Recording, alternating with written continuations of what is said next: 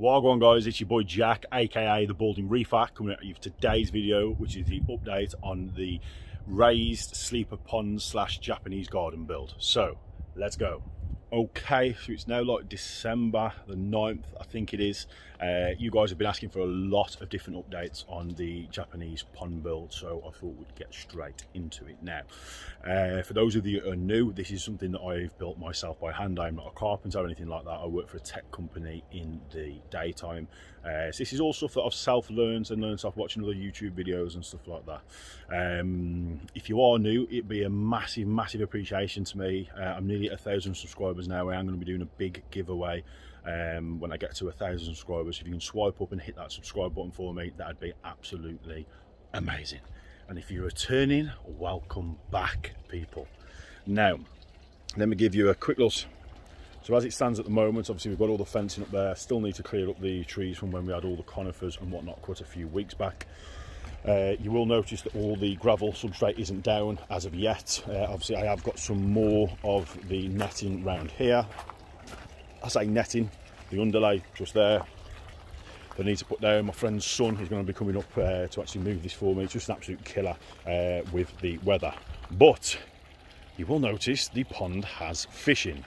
Now, humongous side note here, none of these in here are my fish. I am I'm actually babysitting these for a friend of mine, uh, Alsiboy. You guys have seen him donate fish to the fish room in the past previously. Alsiboy is currently in the process of moving house at the moment, so he is redoing all of his ponds. So I said, obviously, while this was going to be empty over the winter, that he's more than welcome to actually bring his stuff up here. So both of these pumps you see on here at the moment are actually Alsiboy's pumps. Now, there's 38 fish in here in total. There's uh, either four or six goldfish. Uh, the rest of them are koi, uh, and then there are four sturgeons, which you can see one just there now. There is a rather large chap in here that's about four foot. But if we can see him, I will happily show you guys. But let me start you with the filtration so far. And again, this isn't how my filtration's going, don't worry. This is only a temporary stopgap. But I just wanted to, see, to showcase you guys how simple it is to actually clear your water, etc., etc., when it's all outside, just off basic filters. So this filter here, let me just take the rocks off the top. Alsiboy actually run just this filter on his pond, which came to, see where the sleeper join is there from the end? This was 2.4 metre squares. Uh, so there's a lot more water volume going through here. Parameters are all spot on. If you are interested, um, let me know in the comments down below. Uh, and we can actually do a full water test on this and I can show you how to do a water test on a pond. But inside here, all he's got there in the back is the foams. He's got some plastic tube in here. He's got some Alfagrog there. And then he's got some of the um, brushes over there in the corner. We are running a 55 watt UV light on here. And then we've also got the pressurized filter over here that's good for up to 20,000 litres. This pond is 25,000 litres.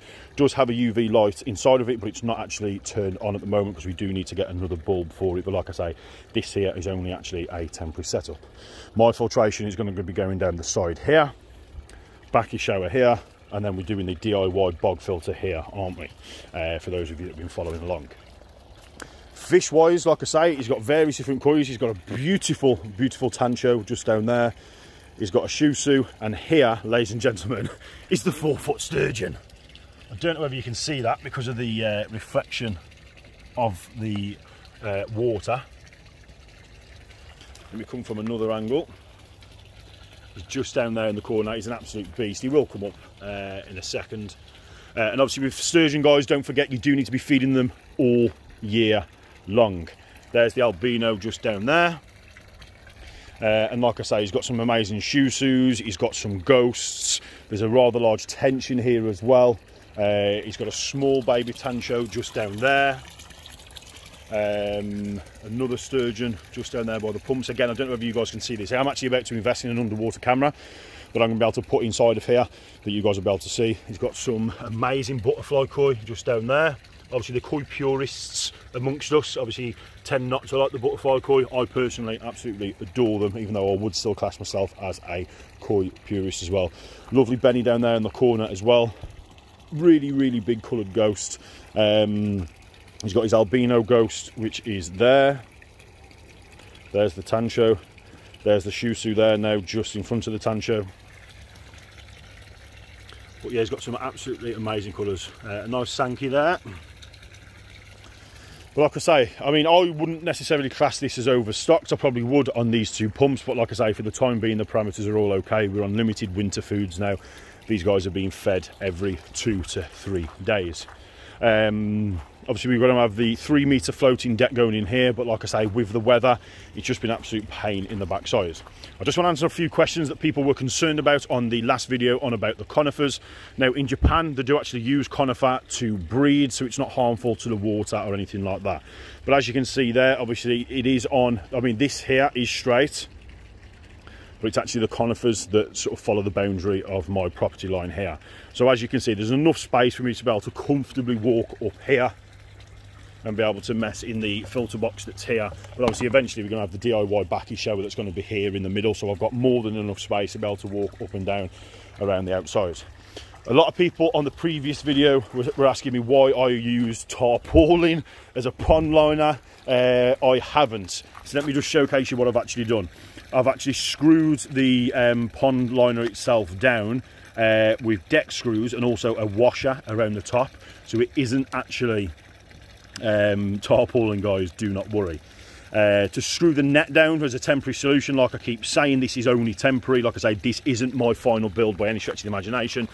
I've just got a screw in there and then it's hooked on. And then it's just a matter of obviously when the water gets on there just pulling it up. As you can see now. And then just literally pulling the net back a little bit but it's just very difficult to do one-handed and then the net does sit off the water. Um, but yeah that's sort of where we're at to where we're at where we're at to where we're up to at the moment.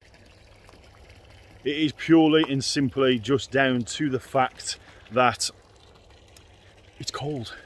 It is freezing. It is raining and we don't have the best of weather in the UK but rest assured guys come Jan, end of Jan slash early Feb, we're going to be back out here grinding it away, getting this done. I am actually on the lookout uh, for some of the big blue rainwater drums as well. You guys see any of those on Facebook Marketplace or anywhere near you and you're in the UK, message me. I will happily drive down to collect them. Ideally free if possible, Do you know what I mean?